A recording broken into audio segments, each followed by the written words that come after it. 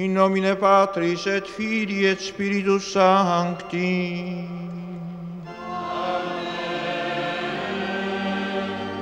Pax vobis.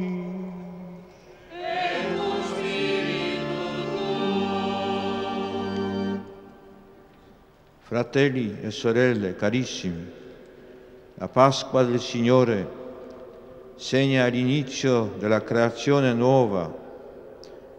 Dio, nella sua grande misericordia, ci ha rigenerati mediante la risurrezione di Gesù Cristo dai morti.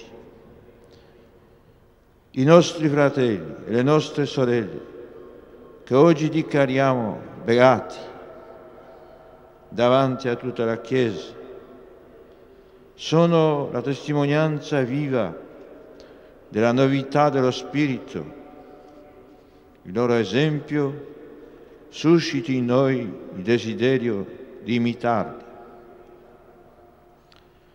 Per essere degni di celebrare la presenza del Cristo risorto in questa Eucaristia pasquale, riconosciamo umilmente i nostri peccati, la debolezza della nostra fede, per poter proclamare con l'Apostolo Tommaso, Signore mio e Dio mio.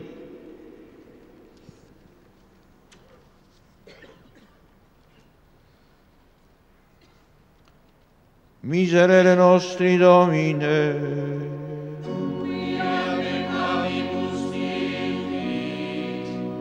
ostende nobis Domine, misericordiam Tua.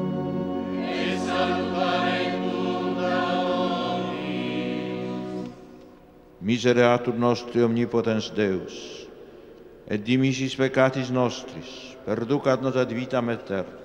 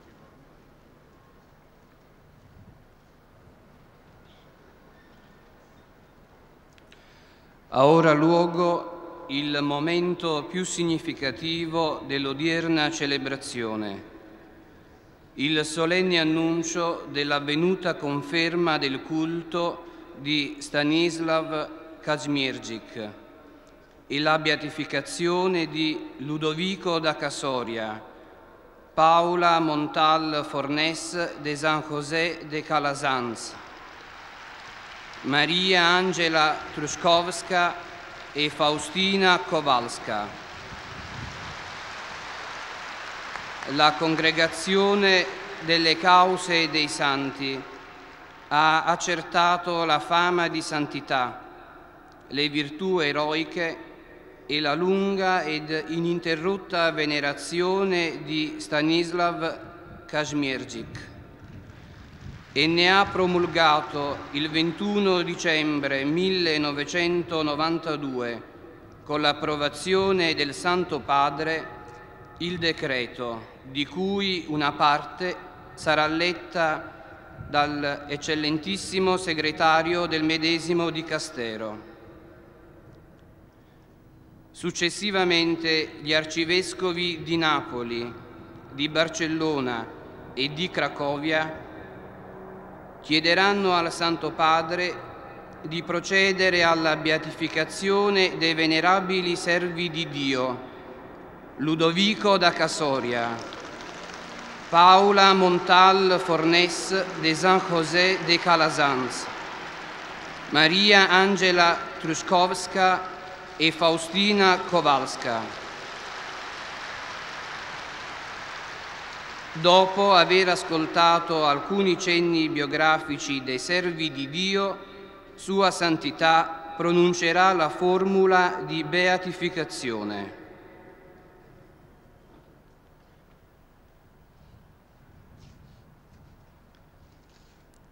Za chwilę nastąpi zasadniczy moment dzisiejszej uroczystości. Uroczyste ogłoszenie zatwierdzenia kultu Stanisława Kazimierczyka oraz beatyfikacja Ludwika Skazori, Pauli Montal Fornes od świętego Józefa Kalasantego, Marii Angeli Truszkowskiej i Faustyny Kowalskiej. Kongregacja Spraw Kanonizacyjnych stwierdziła istnienie sławy świętości, heroiczność cnót oraz oddawanie czci od niepamiętnych czasów Stanisławowi Kazimierczykowi. Wszystko to zostało opublikowane w odpowiednim dekrecie z dnia 21 grudnia 1992 roku, zatwierdzonym przez Ojca Świętego, którego fragment przeczyta ksiądz arcybiskup Edward Nowak, sekretarz kongregacji. Następnie arcybiskupi Neapolu, Barcelony i Krakowa zwrócą się z prośbą do Ojca Świętego o beatyfikację czcigodnych sług Bożych Ludwika Skazori, Pauli Montal Fornes od świętego Józefa Kalasantego, Marii Truszkowskiej i Faustyny Kowalskiej. Po wysłuchaniu krótkich biografii Ojciec Święty dokona beatyfikacji wspomnianych sług Bożych.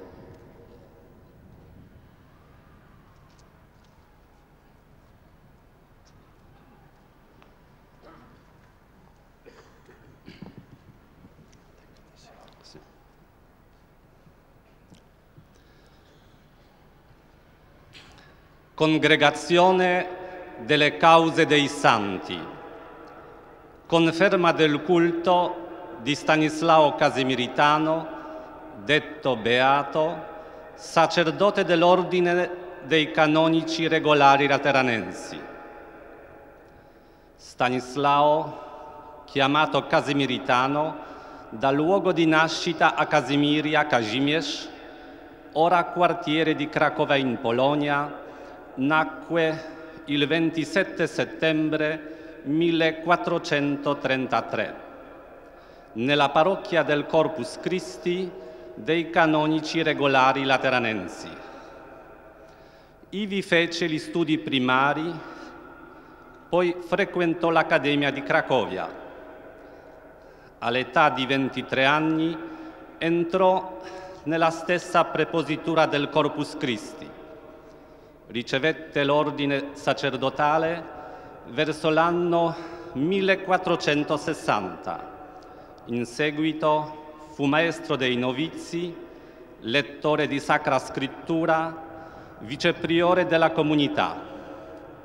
Morì nella sua prepositura a Casimiria il 3 maggio 1489. Stanislao Casimiritano ebbe vasta notorietà per il suo ardore apostolico. Era predicatore e confessore molto ricercato.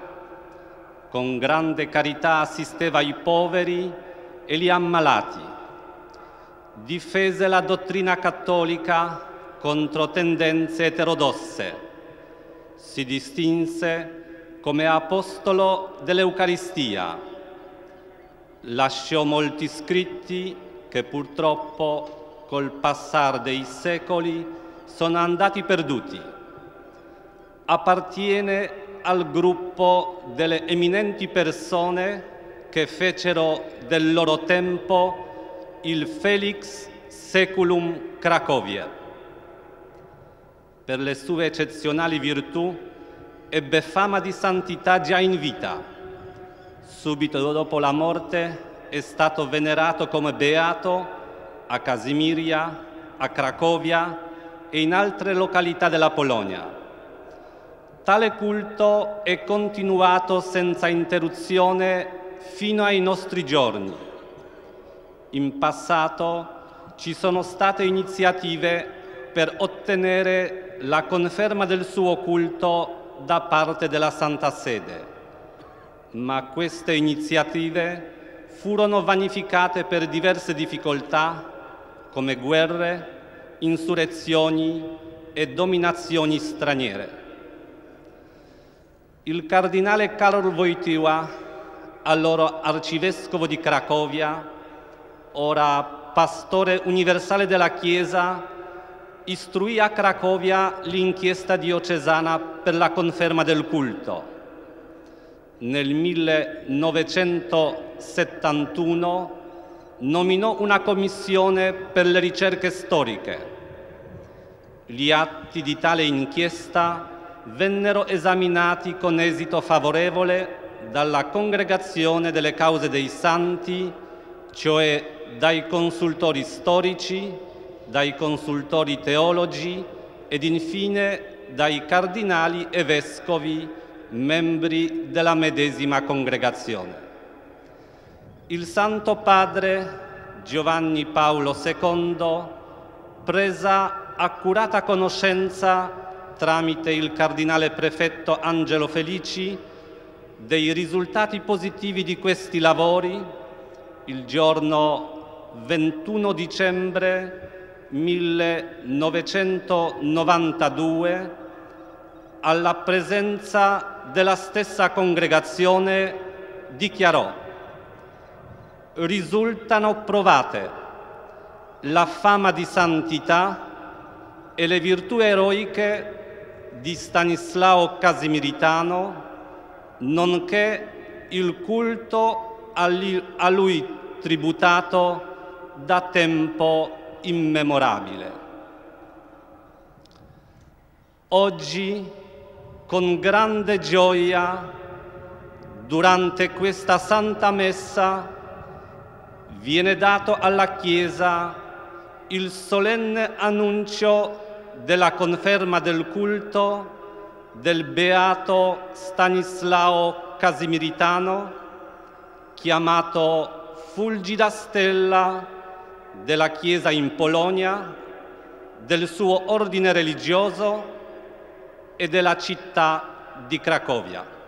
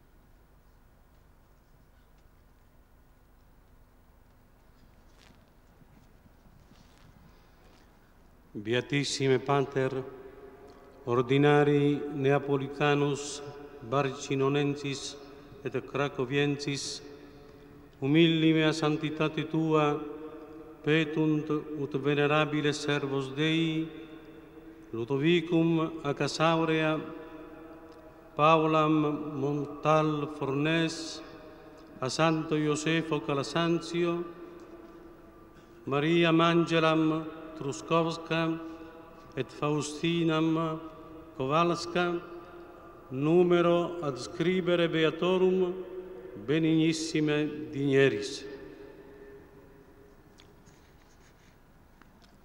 Arcangelo Palmentieri nacque a Casoria nell'ambito dell'archidiocesi di Napoli l'11 marzo 1814 da Vincenzo e da Cantida Zenga, umili ma esemplari genitori cristiani. Nel 1832 fu accolto tra i frati minori della provincia di Napoli, assumendo il nome religioso di Fra Ludovico da Casoria.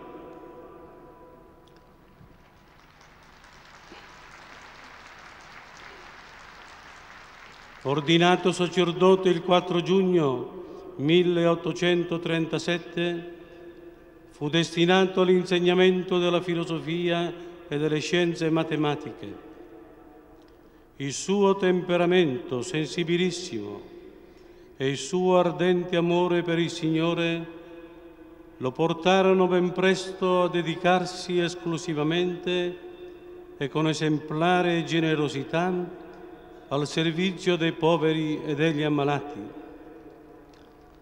Dopo il suo lavacro, compiutosi nella chiesa napoletana delle perpetue adoratrici nel 1847 e durante il quale il risorto lo folgorò con la forza del suo amore, diede una decisiva impronta caritativa alla sua vita francescana e sacerdotale, dando vita a innumerevoli opere di promozione umana e calantosi con cuore compassionevole tra le tante miserie che affliggevano la Napoli del secolo XIX.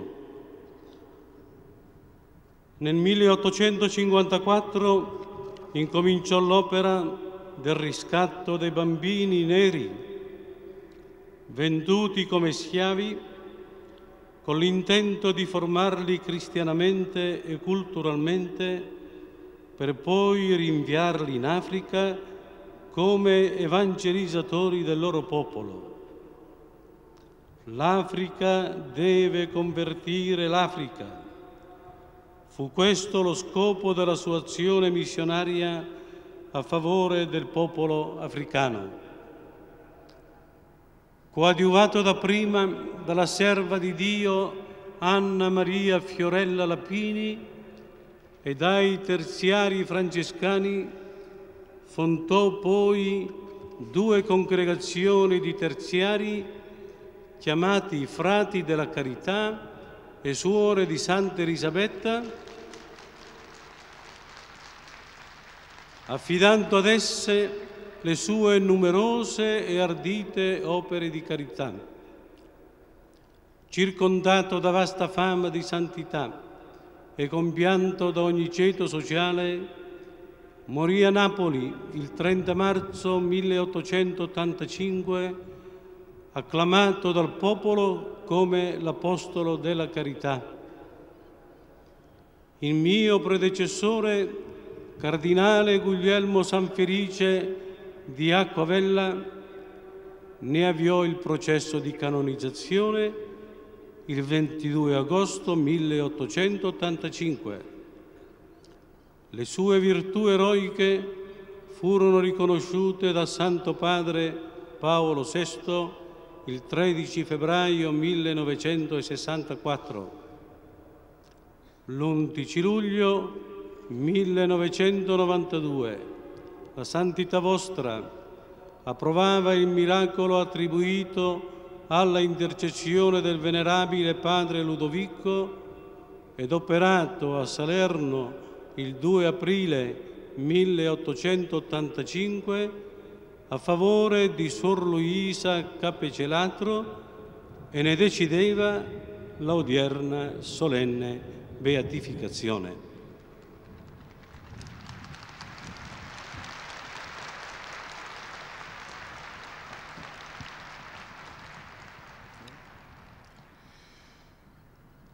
Paula Montali Fornés nació en Arenys de Mar, Barcelona, villa marinera e industrial, el 11 de octubre de 1799, en el seno de una familia de artesanos muy cristiana. Sus padres eran viudos y ella fue la mayor de los cinco hermanos del segundo matrimonio. Huérfana de padre a los 10 años, trabajó como puntaire en cajera para ayudar económicamente a su madre y hermanos y constató enseguida como una necesidad apremiante de la sociedad y de la Iglesia la educación integral de las niñas y jóvenes y la promoción de la mujer.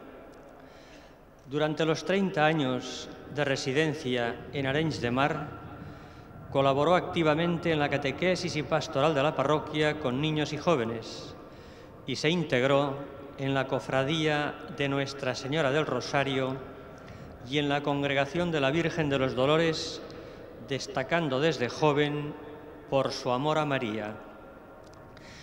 En 1829, Paula Montal, superando las dificultades políticas y sociales de la época, poco favorable a la Iglesia, y acompañada de su incondicional amiga Inés Busquets, se trasladó de Arenys de Mar a Figueres, Gerona, para abrir su primera escuela para niñas.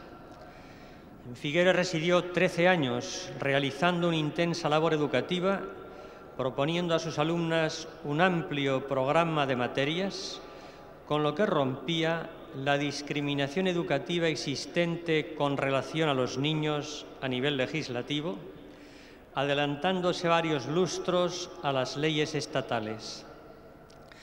En los años sucesivos se le unieron otras compañeras para compartir su misma vida, por lo que fue extendiendo su obra educativa identificada con el carisma calasancio desde Figueres, quiso vivir la espiritualidad y reglas de San José de Calasanz, pero fue en Sabadell, 1846, cuando, ayudada por los padres escolapios, injertó su obra en la Escuela Pía. Allí, ella y sus primeras compañeras profesaron como hijas de María Escolapias, el 2 de febrero de 1847. Los 30 últimos años de su vida, 1859 a 1889, los pasó en Olesa de Montserrat, su última fundación personal y favorita, situada a los pies de la Moreneta, a la que profesaba un amor especial. En Olesa de Montserrat se entregó totalmente a la educación de las niñas y a la atención de las exalumnas, y allí murió con fama de santidad el 26 de febrero de 1889, pronunciando la frase Mare, Mare Meva.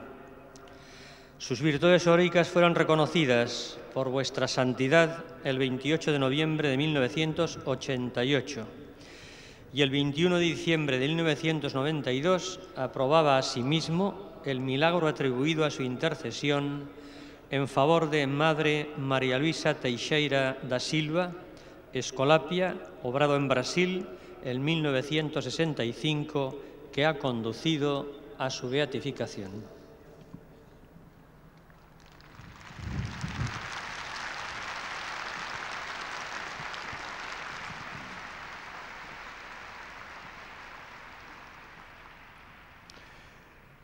Maria Angela Truszkowska, w świecie Zofia Kamila. Urodziła się 16 maja 1825 roku w Kaliszu w Polsce. Rodzice mający wysoką pozycję społeczną zatroszczyli się o solidne jej wychowanie ludzkie i religijne. W 16 roku życia zachorowała na gruźlicę i przez jeden rok leczyła się w Szwajcarii. Po powrocie do Warszawy zaczęła myśleć o poświęceniu swego życia Bogu. Zapisała się więc do trzeciego zakonu franciszkańskiego, obierając za kierownika duchowego błogosławionego honorata koźmińskiego, kapucyna pochodzącego z Białej Podlaskiej. Już w 1854 roku wraz ze swoją kuzynką udała się do założonego przez siebie sierocińca. Po przyłączeniu się do niej innych dziewcząt dała początek zgromadzeniu o nazwie siostry świętego Feliksa z Kantaliczy, które miało dynamiczny rozwój. Ostatnie 30 lat swego życia spędziła w Krakowie w całkowitym odosobnieniu, zrzekając się pełnienia wszelkich obowiązków, między innymi z powodu słabego zdrowia. Umarła w opinii świętości 10 października 1899 roku. Sytuacja historyczna Polski tego okresu sprawiła, że proces zwyczajny przeprowadzono dopiero po 50 latach. Ojciec Święty Jan Paweł II 2 kwietnia 1982 roku ogłosił dekret o heroiczności cnót, a zatwierdzenie cudu przez papieża miało miejsce 11 lipca 1992 roku.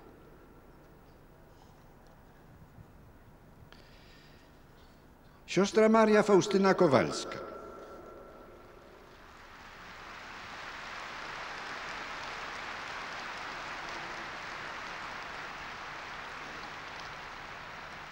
Przyszła na świat 25 sierpnia 1905 roku jako trzecie z dziesięciorga dzieci w biednej i pobożnej rodzinie chłopskiej we wsi Głogowiec.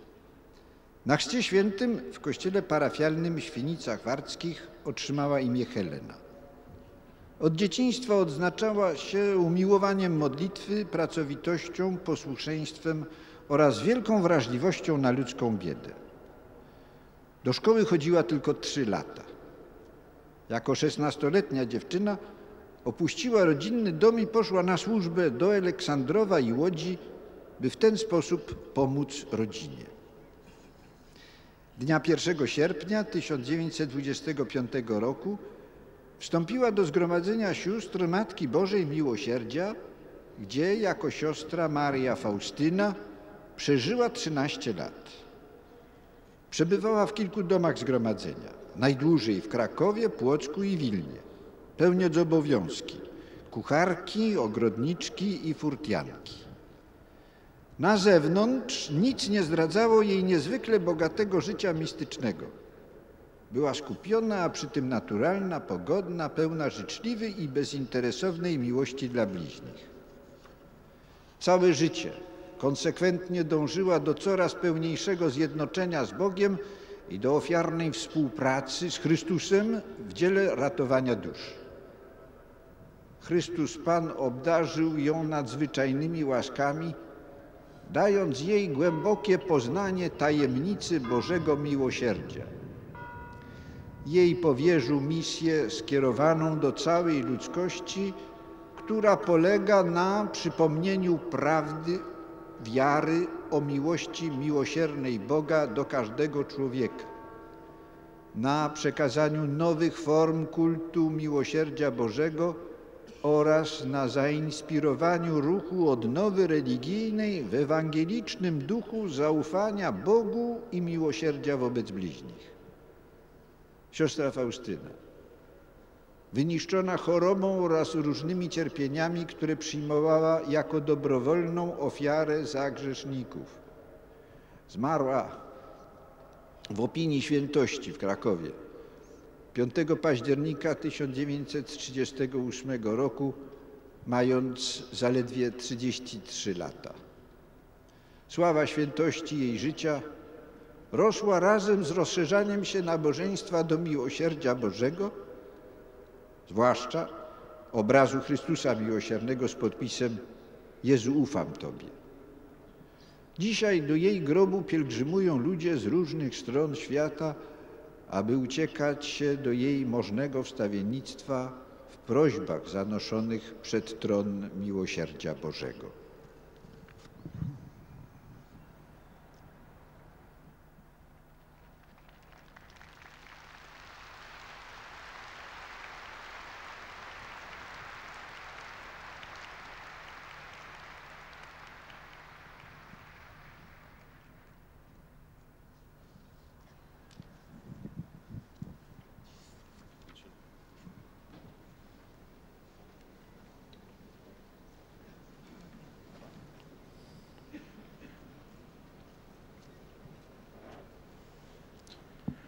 nos vota fratrum nostrorum Michaelis Giordano, archiepiscopi neapolitani, Riccardi Maria Carles Gordò, archiepiscop Barcinonensis, et Francisci Makarski, archiepiscopi Cracoviensis.